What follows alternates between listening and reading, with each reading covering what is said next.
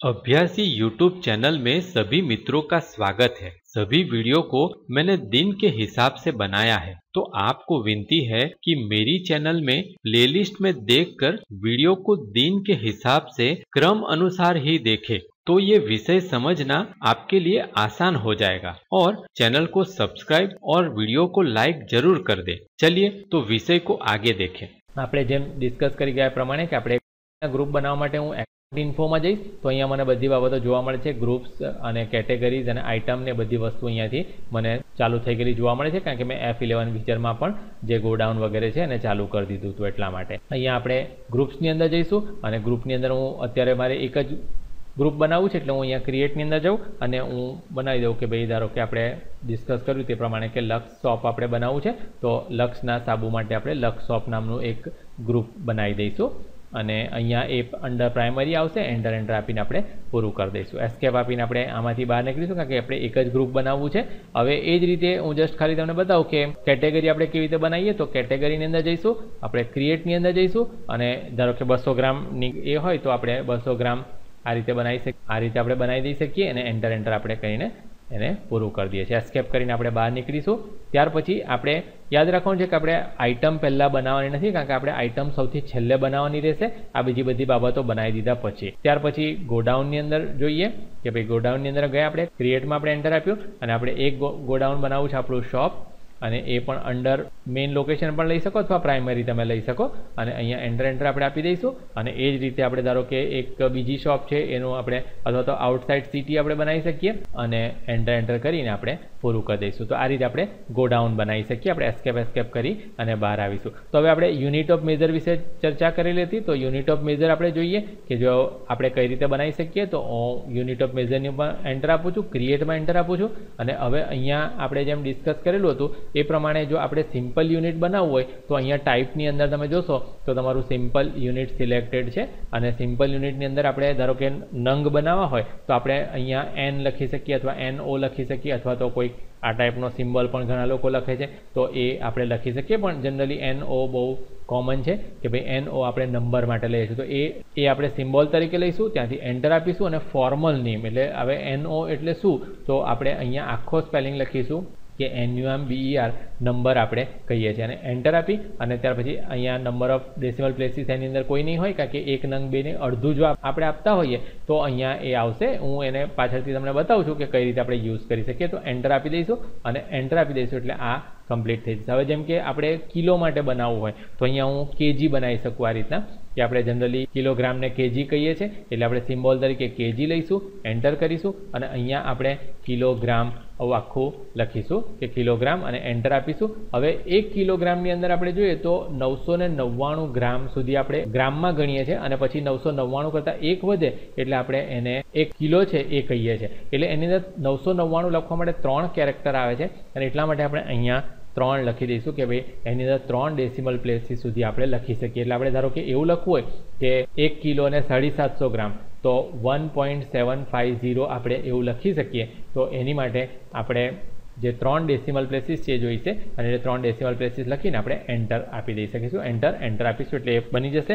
હવે ધારો કે ગ્રામ માટે અહીંયા આપણે ગ્રામ બનાવી શકીએ આ રીતના અને અહીંયા એન્ટર એન્ટર આપીને આપણે પૂરું કરી દઈ શકીએ. હવે આપણે ધારો કે એક બોક્સ પણ બનાવવું છે એટલે આપણે એની માટે આપણે બીએક્સ લઈએ અને અહીંયા આપણે આખું ફૂલ ફોર્મ લખીએ બોક્સ અને એન્ટર એન્ટર આપીને આપણે પૂરું કરી દઈ શકીએ. તો આ આપણા બધા સિમ્પલ યુનિટ બની ગયા. હવે આપણે કમ્પાઉન્ડ યુનિટ પણ એક જોઈએ કે ધારો કે આપણે એવું બતાવવું છે કે એક બોક્સ એટલે કે દસ નંગ. તો એ બતાવવા માટે જેમ આપણે આગળ ડિસ્કસ કરી ગયા કે ભાઈ આપણે એક સ્ટ્રીપ એટલે કે દસ ગોળી આપણે એવું કરવું હોય કે એક બોક્સ એટલે દસ સ્ટ્રીપ એવું કરવું હોય તો એ બધું આપણે અહીંયાથી બનાવી શકીએ.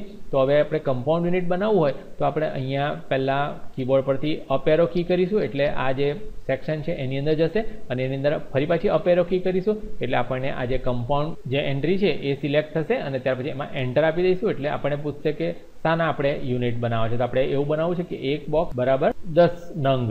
તો એ બનાવવા માટે આપણે અહીંયા બોક્સ લઈ લઈશું કે બોક્સ ઓફ અહીંયા આપણે ટેન લખી દઈશું દસ માટે અને એન્ટર આપી અને અહીંયા આપણે નંબર લઈ લઈશું. એટલે આ હું એન્ટર આપીશ અને પછી એન્ટર આપી દઈશ. તો આ બની ગયું છે. હવે હું જો એસ્કેપ એસ્કેપ આપીને બહાર નીકળીશ અને ત્યાર પછી ડિસ્પ્લેમાં જઈને જોઈશ, તો અહીંયા મને બતાવશે કે એક બોક્સ વસ્તુ પણ છે અને બોક્સ ઓફ ટેન નંબર વસ્તુ પણ છે ગ્રામ છે કિલો છે અને નંબર પણ છે. તો જો હું આ જે એન્ટ્રી છે એ સિલેક્ટ કરીશ, તો એનો મતલબ એમ થશે કે એક બોક્સમાં લીધું હોય તો એ દસ આઇટમ આપણે ખરીદી છે એવું થાય. એટલે આપણે બોક્સના હિસાબે ખરીદી અને ત્યાર પછી આપણે એને જે છૂટી છૂટી વેચવી હોય, ધારો કે આપણે પાંચ વસ્તુ એક વ્યક્તિને વેચીને બીજી પાંચ વસ્તુ બીજા વ્યક્તિને વેચવી હોય, તો આપણે વેચી શકીશું. એટલે આ જે યુનિટ છે ને કમ્પાઉન્ડ યુનિટ કહેવામાં આવે છે. તો અહીંયા બની ગયા છે હવે આપણા, તો આપણે એસ્કેપ એસ્કેપ કરીને પાછા ઇન્વેન્ટરી એની અંદર આવી જઈશું. તો પહેલાં આપણે ગ્રુપ્સ બનાવ્યા ત્યાર પછી કેટેગરી બનાવી, આપણે યુનિટ્સ બનાવ્યા અને ગોડાઉન બનાવ્યા અને હવે ત્યાર પછી આપણે છેલ્લે જે છે એ સ્ટોક આઇટમ આપણે બનાવવાની રહેશે. તો આપણે બે સ્ટોક આઇટમ બનાવી છે કે ભાઈ લક્ષનો બ્લુ સાબુ અને લક્ષનો પિંક સાબુ એવી રીતના.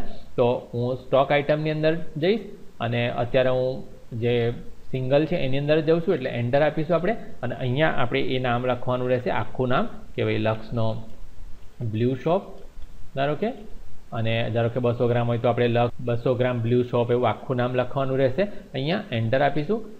એલિયાસ જેવું કશું નથી, એટલે એન્ટર આપીશું. ત્યાર પછી અંડર ગ્રુપ પૂછે છે. તો જો અંડર ગ્રુપ અહીંયા બાજુમાં મને બતાવે છે લક્ષ, એટલે હું અહીંયાથી લક્ષ શોપ લઈ શકું કે આ સાબુ છે એ અલગ શોપ ગ્રુપની અંદર આવશે, તો હું એ ગ્રુપ સિલેક્ટ કરી લઉં છું. અહીંયાથી હું કેટેગરી સિલેક્ટ કરી લઈશ કે કેટેગરી બસો ગ્રામ શોપ છે. ધારો કે કદાચ બીજી હોય, અત્યારે આપણે વધારે નથી બનાવી, પણ તમે આઈડિયા સમજી ગયા છો કે ભાઈ કઈ રીતે આપણે બધું અલગ અલગ બનાવી શકીએ. તો બસો ગ્રામ શોપની અંદર લઈ લઈશું અને ત્યાર પછી આપણે એને સામા ગણતરી કરવાના છે એ આપણે લઈશું. તો આપણે યુનિટની અંદર ગણતરી કરી છે, કારણ કે આપણે એક સાબુ કે બે સાબુ એવી રીતે આપણે નંગની ઉપર ગણતરી કરવાના છે. તો નંગ માટે આપણે નંબર બનાવ્યું છે અને એટલે આપણે એને નંબર સિલેક્ટ કરી લઈશું. ત્યાર પછી જો અહીંયા આવી જશે, અત્યારે આપણે આ બીજી બધી માહિતી નથી ભરતા, એટલે અહીંયા એન્ટર આપી દઈશું. હવે અહીંયા આપણી પાસે ઓપનિંગ બેલેન્સ એટલે કે આપણે જ્યારે ધંધો સ્ટાર્ટ કર્યો, ત્યારે આપણી પાસે અમુક શોપ ને બધું હોય જ.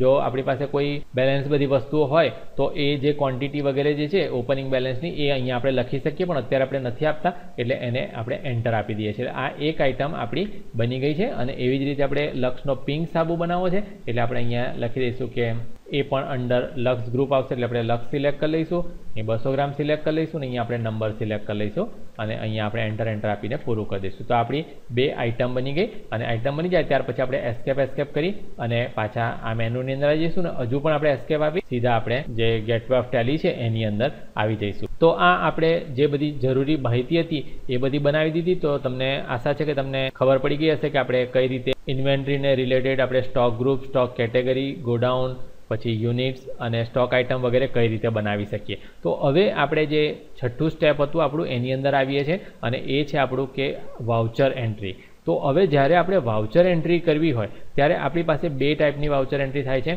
પહેલું તો આપણે પરચેઝની વાઉચર એન્ટ્રી થાય અને બીજી જે છે એ આપણી સેલ્સની વાઉચર એન્ટ્રી થાય. કે જ્યારે જ્યારે આપણે માલ ખરીદીએ છીએ, તો જ્યારે જ્યારે આપણે માલ ખરીદીએ, ત્યારે આપણે પરચેઝની એન્ટ્રી કરવાની રહે છે. પણ હવે જેમ આપણે અગાઉ એકાઉન્ટિંગમાં જોયું હતું એમ, આપણે સાદી પરચેઝની એન્ટ્રી નથી કરતા, કારણ કે ઇન્વેન્ટ્રી હોય એટલે મોટી દુકાન વગેરે હોય તો એમાં ઘણો બધો માલ આવતો હોઈ શકે. તો એની અંદર આપણે અહીંયા જેમ તમને જોવા મળે છે, એ પ્રમાણે આપણે એન્ટ્રી કરીશું. એન્ટ્રીની અંદર આપણે પાસે ત્રણ સ્ટેપ છે કે જ્યારે જ્યારે આપણે માલ ખરીદીએ છીએ, એ માલ જેવા જ્યારે પણ ગોડાઉન પર આવે, ત્યારે આપણે સૌથી પહેલાં રિસિપ્ટ નોટ બનાવવાની રહેશે. એટલે આપણે રિસિપ્ટ નોટની એન્ટ્રી કરવાની રહેશે અને એ આપણે ઓલ્ટર એફ નાઇન કીથી એની સ્ક્રીન લાવીશું. એટલે આપણે પહેલાં રિસિપ્ટ નોટ કરીશું અને જ્યારે આપણે રિસિપ્ટ નોટ બનાવીએ, ત્યારે આપણે યોગ્ય જે રેફરન્સ નંબર છે, એ આપણે આપી દઈશું. આ બધી બાબતો આપણે પ્રેક્ટિકલી જોઈએ છે હમણાં થોડી વારની અંદર કે કઈ રીતે આપણે કરી શકીએ. પહેલાં આપણે એની જે સમજણ છે એ મેળવી લઈએ કે જ્યારે પણ આપણે માલ પરચેસ કરીએ, ત્યારે આપણે પહેલાં રિસિપ્ટ નોટ બનાવવાની રહેશે અને આવી બે, ત્રણ રિસિપ્ટ નોટ આપણી ભેગી થાય એટલે કે જ્યારે કોઈ મોટ કંપની હોય તો એ કંપનીની અંદર એવું ના હોય કે ભાઈ આપણે જે વસ્તુ માલ ખરીદ્યો અને માલ આવ્યો અને તરત જ આપણે એના પૈસા આપી દેવું ના હોય. પણ એક બાજુ માલ આવતો જતો હોય અને આપણે બીજી બાજુ પછી એનો એ બિલ મોકલાવે, ત્યારે આપણે એના પૈસા આપતા હોઈએ છીએ તો એ જેટલો જેટલો માલ આવતો જાય એ બધો આપણે રિસીપ નોટથી રિસીવ કરી લઈશું અને ત્યાર પછી જે તે કંપની છે, એ કંપની જ્યારે એનું પરચેઝ બિલ મોકલે, તો એ બિલ આપણે એફ નાઇન કરીને પરચેઝની અંદર આપણે એન્ટર કરવાનું રહેશે. હવે ઇન્વેન્ટરી અને આ બાબતોમાં આપણે ખાસ એક વસ્તુ યાદ રાખવાની જરૂર પડે છે કે આપણી માટે જે પરચેસ છે, એ સામેની પાર્ટી માટે સેલ્સ છે. અને સામેની પાર્ટી માટે જે સેલ છે, એ આપણી માટે પરચેસ છે. એટલે અહીંયા ઘણીવાર ગોટાળો થતો હોય છે કે ભાઈ આપણે આ બિલ પરચેસમાં નાખવું કે સેલ્સમાં નાખવું કારણ કે જો હું અહીંયા તમને જે માહિતી સમજાવી રહ્યો છું, હું એ રીતે સમજાવી રહ્યો છું કે આપણું જે પોતાનું જે રોલ છે, એ પહેલાં આપણે ફિક્સ કરી દીધો છે કે અત્યારે આપણે કોઈક એક્સ પાર્ટી પાસેથી, એટલે કે લક્ષ કંપની લિમિટેડ પાસેથી આપણે પરચેસ કરી રહ્યા છે અને આપણે એક્સવાયઝેડ કંપની લિમિટેડને વેચી રહ્યા છે. લક્ષ પાસેથી આપણે જે કરીશું, એ આપણી માટે પરચેસ ગણાશે. એટલે કે આપણી પાસે પરચેસ થઈને અંદર આવે છે. જ્યારે આપણે એક્સવાયઝેડ લિમિટેડને જે પણ બિલ આપીશું વગેરે, એ આપણી માટે સેલ્સ થશે. એ આપણે યાદ રાખવાની જરૂર છે. આપણે જોયું એ પ્રમાણે કે પહેલાં આપણે રિસિપ્ટ નોટ બનાવીશું, ત્યાર પછી જ્યારે બિલ આવે, ત્યારે એનું આપણે પરચેઝ બિલ બનાવીશું. અને એ પરચેસ બિલ બનાવીશું, ત્યારે આપણે પહેલાં જે રેફરન્સ નંબર આપેલા હતા, એ રેફરન્સ નંબર આપણે લઈ લઈશું. અને ત્યાર પછી એ પાર્ટીને આપણે પેમેન્ટ કરીએ, એટલે ત્રીજું સ્ટેપ આપણું આવશે અને એ પેમેન્ટનું આવશે. તો હવે આ જે ત્રણ સ્ટેપ છે, એ આપણે જોવા માંગીએ છીએ. અને એ ત્રણ સ્ટેપ જોવા માટે અહીંયા આપણી પાસે એક એક્ઝામ્પલ આપણે લીધેલું છે. તો લક્ષ કંપની લિમિટેડ પાસેથી આપણે પંદર રૂપિયાનો એક એવા સોસ,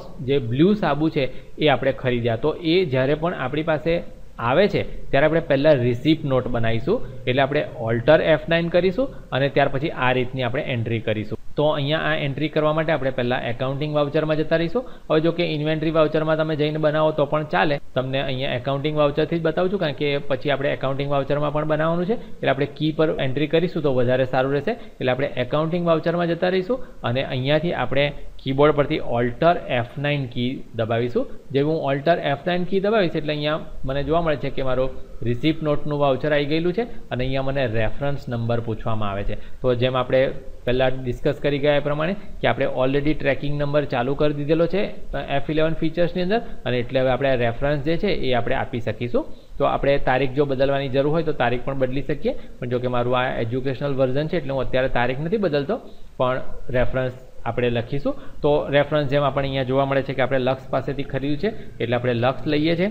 સ્લેશ આપીને આ આપણી રિસિપ્ટ નોટ છે, એટલે આપણે ધારો કે રિસિપ્ટ નોટ એવું લખી શકીએ, અને એ પહેલી જ રિસિપ્ટ નોટ છે, એટલે ઝીરો વન લખી શકીએ. તો આવું કંઈ પણ આપણે રેફરન્સ નંબર આપણે પોતાની રીતે બનાવી અને આપણે લખી શકીએ. તો આ રેફરન્સ નંબર મેં આપી દીધો એન્ટર આપીશું, અને ત્યાર પછી આપણે પૂછે છે કે કઈ પાર્ટી પાસેથી આપણે ખરીદ્યું. તો આપણે લક્ષ પાસેથી ખરીદ્યું છે, એટલે આપણે એલ પ્રેસ કરીશું. એટલે અહીંયા લક્ષ કંપની લિમિટેડ બાજુમાં તમને સિલેક્ટ થઈ ગયેલું દેખાશે. તો એને આપણે એન્ટર આપીને સિલેક્ટ કરી લઈશું. ત્યાર પછી અહીંયા ઓર્ડરની ડિટેલ પૂછવામાં આવે છે. જો કે અત્યારે આપણે ઓર્ડર પ્રોસેસિંગ જોઈ નથી રહ્યા, પણ જો ઓર્ડર પ્રોસેસિંગ વાળી જે વિડીયોઝ છે હું પછીથી મૂકીશ કે આપણે ઓર્ડર પ્રોસેસિંગ પણ આપણે કઈ રીતે કરી શકીએ. પણ જો ઓર્ડર પ્રોસેસિંગ હોય તો આપણે એ અહીંયા લખી શકીએ. અત્યારે નથી એટલે આપણે એને એન્ટર એન્ટર આપીને પૂરું કરી દઈ શકીએ? હવે અહીંયા આપણે પૂછે છે કે કયા લેજરની અંદર આપણે લેવાનું છે? તો આપણે પરચેઝ લેજરની અંદર નાખવાનું છે. આપણે પરચેસ કર્યું છે એની પાસેથી. એટલે પરચેઝ લેઝર આપણે લઈ લીધું. ત્યાર પછી આપણે પૂછે છે કે કઈ આઇટમ? કે નેમ ઓફ આઇટમ? તો આપણે લક્ષનો બ્લુ શોપ લીધો છે. એટલે આપણે એલ પ્રેસ કરીશું. એટલે અહીંયા આપણને બે દેખાશે. તેમાંથી આપણે લક્ષનો બ્લુ સાબુ છે એ સિલેક્ટ કરી લઈશું. અને તરત જ આપણે ટ્રેકિંગ નંબર પૂછવામાં આવશે કે કયા ટ્રેકિંગ નંબરથી. તો તમે જોશો તો ટ્રેકિંગ નંબર અહીંયા સિલેક્ટ થઈ ગયેલો, આવી જાય છે. લક્ષ આર નોટ ઝીરો વન આપણે જે બનાવેલો હતો તે, તો એ આપણે સિલેક્ટ કરી લઈશું કે આપણે જે આ અહીંયા આપણે રેફરન્સ નંબર નાખેલો હતો, એ રેફરન્સ નંબર આપણને અહીંયા બતાવે છે. હવે આપણે પૂછે છે કયા ગોડાઉનની અંદર આપણે મૂક્યું, તો આપણે શોપની ઉપર ધારો કે મૂક્યું હોય, તો આપણે એસ પ્રેસ કરી અને શોપ લઈ લઈશું. કેટલી ક્વોન્ટિટી આવી? તો આપણે ધારો કે સો સાબુ મંગાયા છે અને એક સાબુની કિંમત પંદર રૂપિયા છે, તો આપણે એ લખીને એન્ટર આપી દઈશું અને ગણતરી કરવા સ્થાની ઉપર કરવામાં આવશે. તો કે નંબરની ઉપર કરવામાં આવશે, એટલે કે પંદર રૂપિયાનો એક એવું હશે, તો એ નંબર કરીશું એટલે ટોટલ અહીંયા આપણને જોવા મળે છે. હવે આ થઈ જાય, એટલે આપણે અહીંથી એન્ટર આપીશું એન્ટર આપીશું, એટલે આ એક આઇટમ પતી ગઈ છે. હવે ધારો કે આવી જ રીતે આપણી બીજી આઇટમ હોય તો અહીંયા એન્ટર આપી અને અહીંયા બીજી આઇટમ પણ લખી શકું કે આપણે ઘણીવાર કંપની પાસેથી એક જ આઇટમ ના મંગાવતો પણ દસ બાર આઇટમ મંગાવી હોય તો જે બધી આઇટમ છે અહીંયા આપણે લખી શકીએ. પણ અત્યારે આપણે આ ફક્ત જોવાના પર્પઝમાં આપણે એક જ આઇટમ લીધી છે, તો એક આઇટમ આપણી પૂરી થઈ જાય એટલે આપણે અહીંયાથી એન્ટર આપી દઈશું અને અહીંયા આપણે વેટ વગેરેની માહિતી છે એ લખવાની રહેશે, પણ એ અત્યારે આ વિડીયોમાં આપણે નથી જોતા. પણ વેટ વગેરેનું આપણે પાછળથી બીજા વિડીયોની અંદર જોઈશું, તો એ પણ આપણે અહીંયા આપણા નથી આપતા એટલે અહીંયા પણ હું એન્ટર આપી દઈશ. એટલે મને પૂછે છે કે ભાઈ, આ બરોબર છે?